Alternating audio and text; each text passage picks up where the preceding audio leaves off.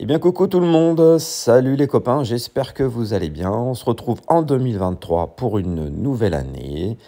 Et je vous souhaite euh, à cette occasion, eh bien franchement, tous mes voeux, tout plein de bonnes choses sur le jeu évidemment, mais tout d'abord euh, dans votre vie et surtout dans votre vie personnelle. Euh, voilà, alors quoi dire en ce début d'année Ce qu'il se passe un petit peu, on a fini l'événement des gargouilles où je m'étais fixé trois objectifs et eh ben, je suis content d'avoir réalisé mes trois objectifs, hein, puisque le rare, je voulais absolument le top 10 000. Bon, ça, il est passé, on va dire, largement vu le, vu le classement. Le top 1000 ne m'intéressait pas plus que ça. Euh, tout d'abord parce que j'avais pas envie de dépenser toutes mes fioles à essayer d'attendre un bon puzzle pour avoir les anneaux, alors que les anneaux mystiques, j'en ai euh, je sais pas, 17 ou 18, je sais plus, donc je n'ai absolument pas besoin. Et par contre, je me suis vraiment, mais vraiment bien amusé avec une équipe, un 3-2, je crois, violet-jaune. Euh, j'ai pas pris l'équipe performance euh, que vous pouvez qu'on ira voir euh, après sur le sur le jeu dans les euh, dans les classements. J'ai pris une équipe qui me permettait de de bien jouer et de, m'amuser sans trop dépenser d'items. Voilà, donc j'ai refait quelques, pas mal de niveaux quand même sur le rare pour assurer vraiment le top 10 000 et puis pour m'amuser. Donc ça c'est cool. Avec euh, bon, la fiole monde, c'est ce qui m'intéressait le plus. Et évidemment les jetons. Euh, euh, là il y a un jeton troupe et un jeton héros, donc c'est très très bien. L'épique, je m'étais fixé un top 50 000 pour avoir les deux jetons troupe, et ben ça a tenu sans refaire trop de niveaux, parce que l'épique me prend vraiment la tête à chaque fois. C'est celui sur lequel j'ai le plus de mal. Je pense qu'il doit manquer certains héros clés, et puis je sais pas, j'ai l'impression d'avoir toujours des puzzles de merde quand je veux performer en, en, mono sur ce, sur ce niveau. Donc euh, voilà, bon, par contre ça a tenu. Les deux fioles mondes, c'est toujours super euh, pour Atlantis, et les jetons troupes, c'est ce que je visais. Et le légendaire, je visais le top 10 000 ben justement pour les trois jetons troupes et les trois flacons d'énergie aussi. Et ça a tenu aussi, j'ai refait quelques niveaux parce que j'étais sorti du top 10 000. Euh, samedi ou dimanche, je sais plus. Ouais, bah hier. Et du coup, et eh ben voilà, je suis repassé et sans avoir réamélioré hier soir et ce matin, le top 10 000 a tenu. Donc c'est très bien. Et c'est vraiment un des événements que je prends le plus de plaisir à jouer. Voilà, on n'est pas obligé de changer d'équipe à chaque fois. Il n'y a pas des trucs complètement barrés, les, les couleurs qui changent. Pardon, du poison à tout va. C'est vraiment, euh, c'est vraiment sympa à jouer, je trouve, ce, cette petite barre de, de pot de pierre là. C'est, ça oblige vraiment à jouer le puzzle et à jouer moins d'objets. En fait, je pense que ça nous force à, à jouer plus la manipulation du puzzle que de balancer des objets. Enfin, moi, c'est mon avis. Donc, je me suis vraiment bien amusé, ça fait plaisir. Alors, après, sur le jeu, qu'est-ce qui se passe? Alors, on peut vite fait aller faire un petit tour là. Et regarder un petit peu euh, dans le classement. Euh, j'ai pas retrouvé beaucoup, beaucoup de ceux que je retrouve euh, d'habitude. Hein. Alors, on va quand même féliciter. Je pense qu'il doit y avoir quelques Français. J'en ai vu vite fait tout à l'heure. Euh, alors je m'excuse hein, si j'en passe, mais il y a des fois des pseudos qui ne nous laissent pas franchement penser à des Français. Et alors il y a Toto Schilacci, qui est un habitué, hein, un habitué des, euh, des tops, un excellent joueur français. Euh, qui est-ce qu'on peut avoir d'autre Zizi, non, je pense pas que ce soit un joueur français. Pardon. Euh, non, je pense pas. Bah, il que Toto. bon, et bah, il n'y a que Toto. Donc, félicitations Toto pour le rare. En épique, euh, j'ai pas regardé en épique. Il y a toujours Toto, évidemment. Euh, Black Panther, il y a Colonel Indiana, hein, qu'on n'a pas vu en, rare, ou alors je l'ai raté, mais évidemment il est là en épique.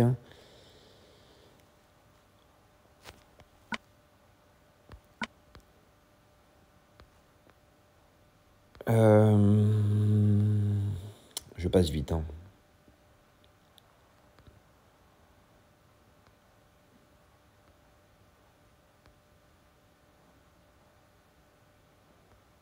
Ah bah il y a Summer, voilà.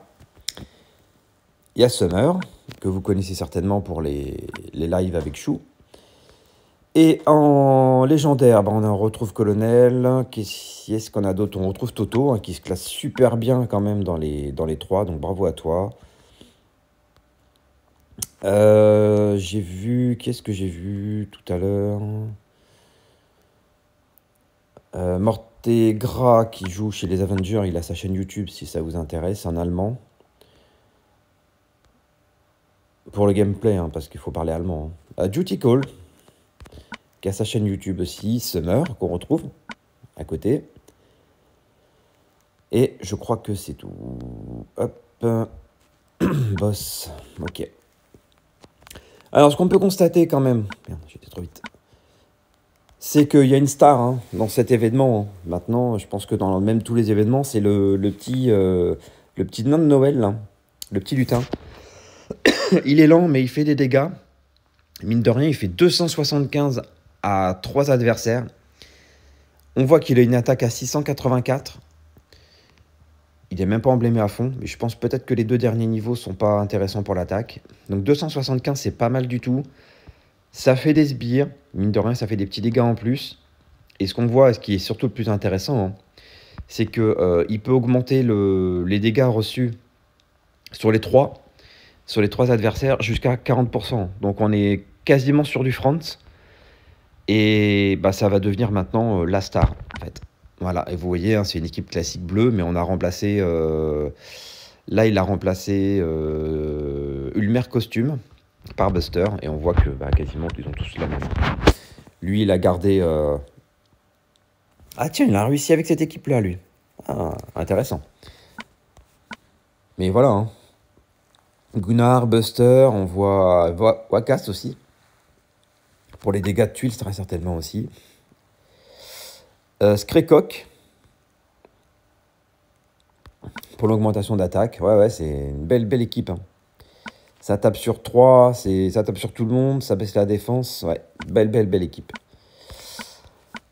Et là, on arrive sur du plus classique, on va dire. Ah bah alors lui, il en a carrément mis 3. Alors là, il a carrément 3 busters. Pourquoi pas. Mais bon, vous voyez que c'est la star. Hein. Deux busters, deux Scraycroc. Euh, Phonicus qui rentre ici. Bon, le rouge, c'était vraiment l'équipe à... Le rouge et le bleu, hein, c'était l'équipe à mettre. Vous voyez qu'il y avait quand même plusieurs possibilités mais que on, pouvait arriver à faire quelque chose.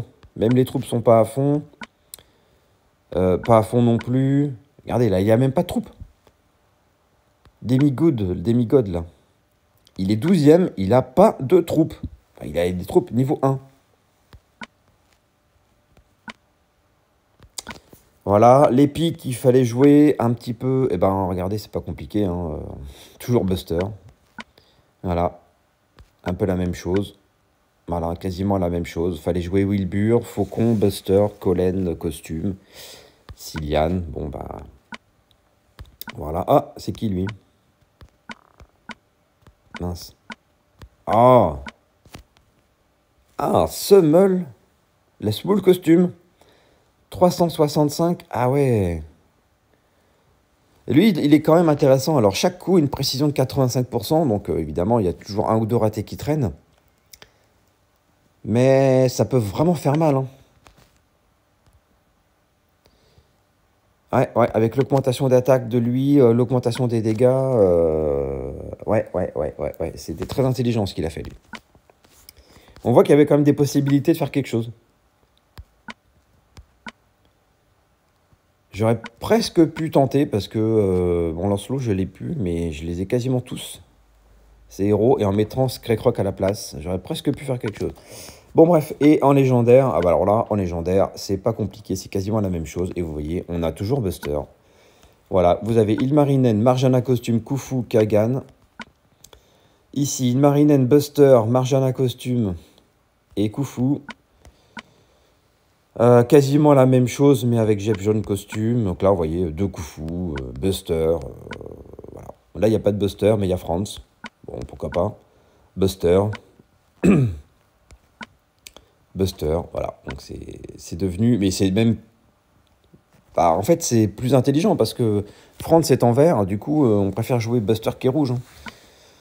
Et euh, la team de Toto Schilacci, bah voilà, Ilmarinen, euh, Buster, Koufu, l'Astérius, là. Et le père Kagan. Et le père Kagan. Lui, fait mal quand même. hein.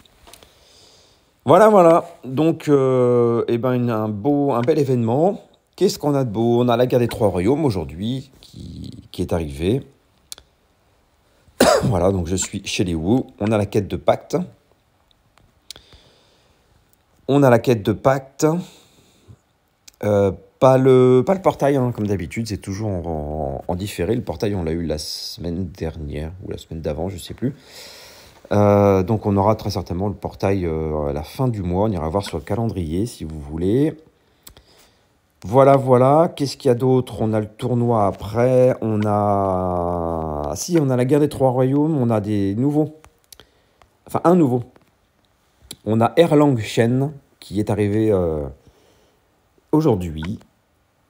Alors lui, donc bonus pour 1, 2 ou 3 héros, c'est la même chose. C'est 50% de chance de prolonger les effets déclenchés par le héros de 1, 2 ou 3 tours. Donc en fait, les pourcentages sont les mêmes.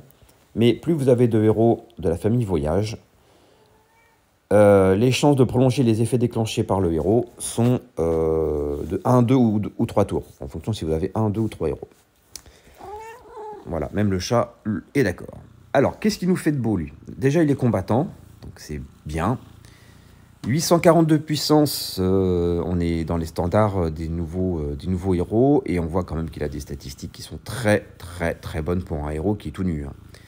Pas d'emblème et pas de limit break, donc là ça va dépasser les, les 1000 d'attaque, et en, point de vie, on va certainement arriver dans les 1000, euh, 1700 euh, et quelques, hein, 1750 euh, à, à peu près, et un peu plus de 900 de défense.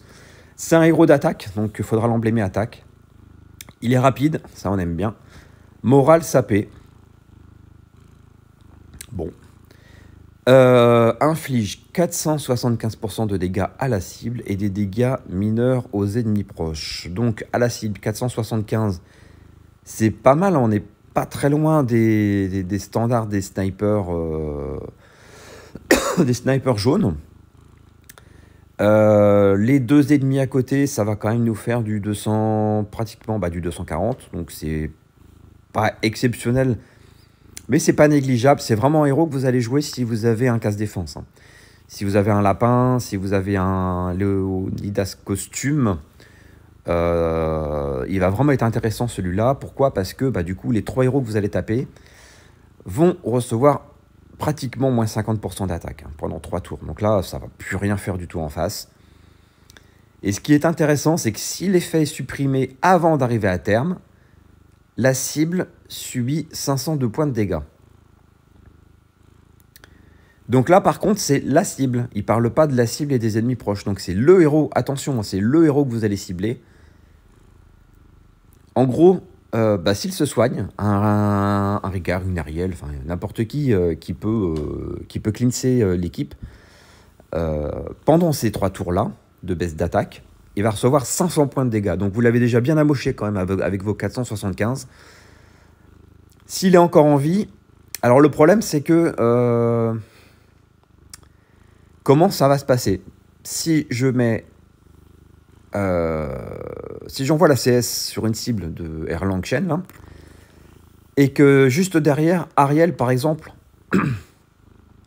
euh, Ariel passe par là.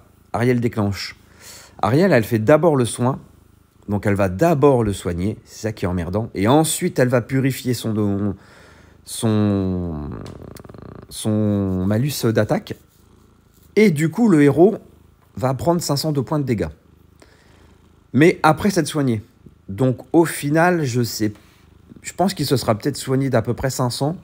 Donc ça va juste annuler son soin en fait. C'est peut-être pas exceptionnel en fait. Ce qu'on aurait aimé, c'est que euh, déjà le l'effet qui est supprimé là, euh, ce soit pas la cible, ce soit la cible et les ennemis proches qui est 502 points. Parce que euh, je trouve, il est bien ce héros, mais il n'est pas complètement barré. Donc euh, ça aurait été sympa. Maintenant, c'est pas mal, franchement. C'est vraiment euh, pas mal. Mais encore une fois, il faut avoir un, faut avoir un casse défense parce que sinon, ça va pas être assez. Ça va pas être assez impactant. Moi, je sais que dans mon, dans mon deck jaune, c'est pas un héros qui va être prioritaire pour moi parce que je vais pas pouvoir casser la défense euh, en, jaune, en tout cas, avant. Donc ça va être moins impactant. Mais ça reste un bon héros. Après, on n'en a pas d'autres. Hein. On a toujours des... Bah, les autres hein, qui sont très bons. Hein. Euh, lui, Yao, je crois que je ne l'ai pas encore.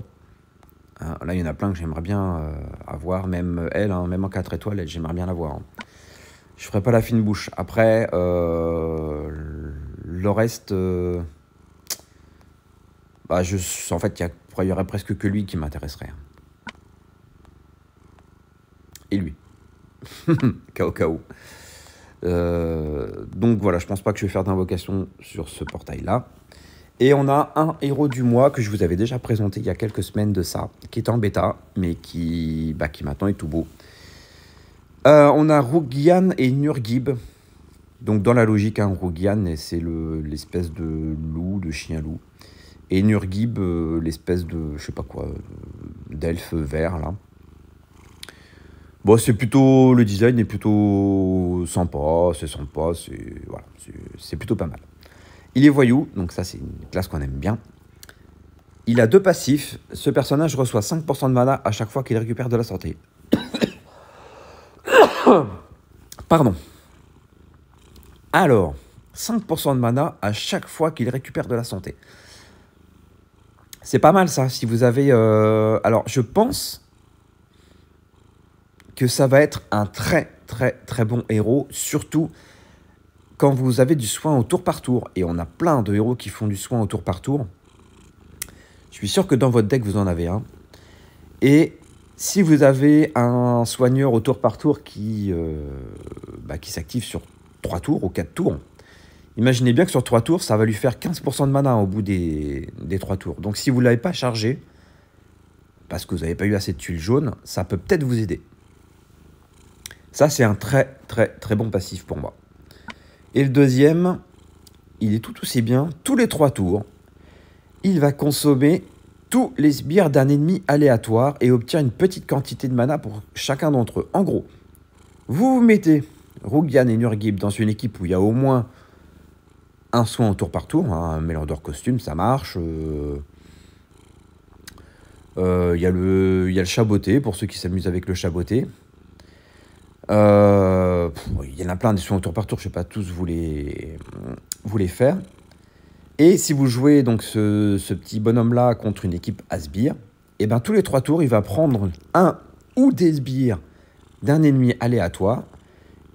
Donc en gros, vous lui prenez deux sbires, ben, il va se donner une petite quantité de mana. Donc ça, plus le soin au tour par tour, c'est vraiment un héros que vous pouvez déclencher au moins deux fois, je pense facilement, dans votre aide.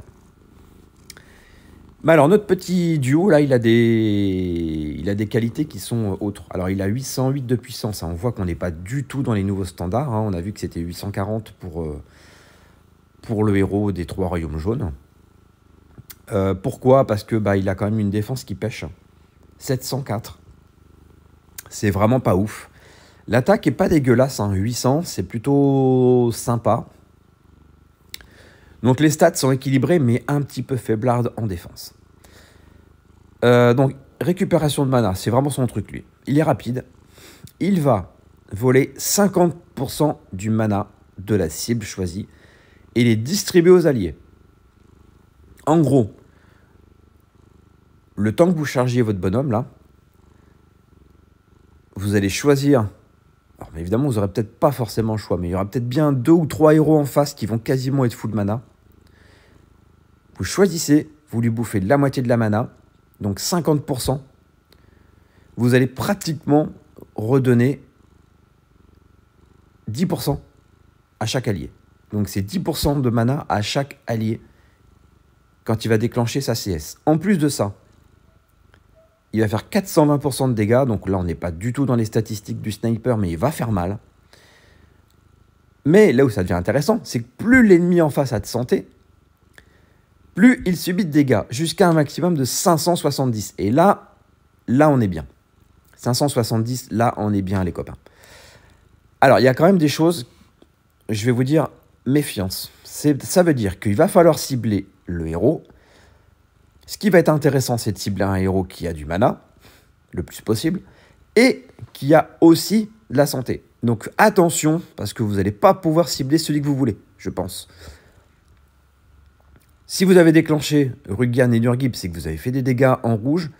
Si vous avez déjà euh, bien entamé la vie du héros que vous allez cibler, bah vous allez lui faire moins de dégâts. Donc vous allez le tuer, mais vous allez avoir volé sa mana. Et ensuite, lien élémentaire. Lien élémentaire. 5% de chance d'éviter les effets négatifs de tous les alliés feu. Bon, c'est pas mal. Plus 5%, c'est pas. Je pense pas que ça se déclenche souvent, mais pourquoi pas. Donc moi je dis c'est un héros très intéressant parce que euh, vous allez peut-être pouvoir déclencher des héros lents dans votre team avec tout ce qu'il a là, avec les passifs. Avec les passifs, vous allez le déclencher rapidement, lui. Là, c'est pareil. Tous les trois tours, s'il y a des sbires, euh, bah c'est pareil, vous allez le déclencher plus vite.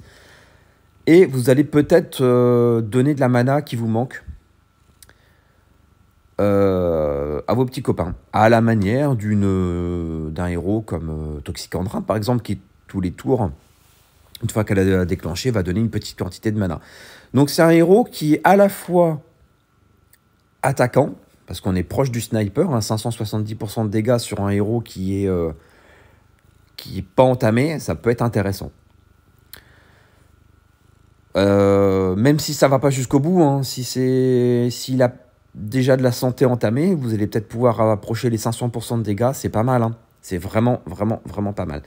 Donc c'est un héros, euh, je dirais pas que c'est à cibler absolument, à avoir absolument, mais moi c'est un héros qui m'intéresse, et si je l'ai, étant donné que je suis très pauvre en... Enfin, pas pauvre, mais étant donné que j'ai absolument plus de rouge à monter, je pense que je le monterai sans aucun problème. Voilà ce qu'on peut dire euh, aujourd'hui. Et puis euh, voilà, un petit coucou, un petit coucou à ma team. Euh, un petit coucou à ma team, puisqu'on vient d'enchaîner une douzième victoire consécutive en GDA, donc on n'a pas encore connu la défaite. Quoi dire de plus, sinon que je suis extrêmement fier de, de l'Alliance euh, pas parce qu'il il y a les résultats en GDA, mais parce que euh, eh j'ai vraiment euh, bah, j'ai la chance d'être accompagné par des jeunes, par des jeunes, par des joueurs, peut-être jeunes aussi, je sais pas, mais par des joueurs qui, bah, se donnent, mais sans pression. Hein, voilà, dans ce, que, dans ce que je voulais. C'est-à-dire qu'il n'y a pas de. Il n'y a pas de. Comment dire il n'y a pas de course à la performance. Euh, je, ne demande pas, euh, je ne demande pas à chacun d'être le, le meilleur, juste de faire le taf et ça marche. Quoi. Chacun bah, fait son petit truc. Euh, chacun est content de jouer. On est sur du titan. Bon, là, on a un rare qui est à 2, 4, 6, 8, 9 étoiles. Donc, on se stabilise sur du 9, 10 étoiles. On est 14, donc il nous manque encore un joueur. Enfin, selon ce que je veux, euh, il nous manque encore, euh, bon là c'est marqué deux joueurs, mais euh, j'ai pas fait la mise à jour, mais il nous manque encore ouais, un ou deux joueurs. on a pas mal, j'ai pas mal recruté depuis la dernière fois que j'ai fait un petit point. Donc il y a du monde hein, qui, nous a rejoints. Il y a des anciens Pipelettes, il y a des anciens Vandamme, euh, il y a des anciens de la team euh, et Saucisson, aussi deuxième division, je crois, si je dis pas de bêtises. Il y a Guérinou qui nous a rejoint de, de la team euh, de Chris, hein, de la team l'Odysseus, la team l'Alliance École. Donc voilà. Quoi dire d'autre?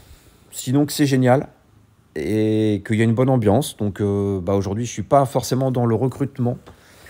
C'est pas une vidéo pour ça. Euh, mais enfin, en tout cas, si vous êtes intéressé, ben, n'hésitez toujours pas à m'envoyer un petit, un petit mot sur Line. Ça fera toujours plaisir et puis on verra ce qu'on peut faire. Voilà les copains, je vous dis à bientôt. Passez une bonne journée, une bonne semaine et puis encore une fois, une bonne année. Ciao ciao